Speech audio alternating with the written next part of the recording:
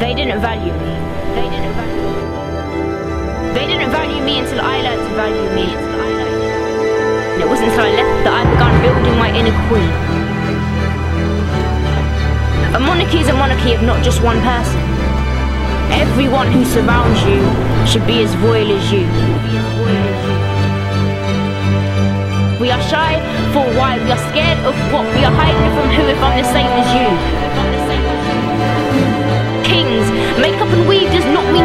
Herself.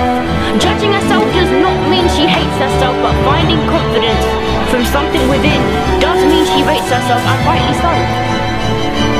Dress how you want to be addressed. Carry yourself how you know yourself.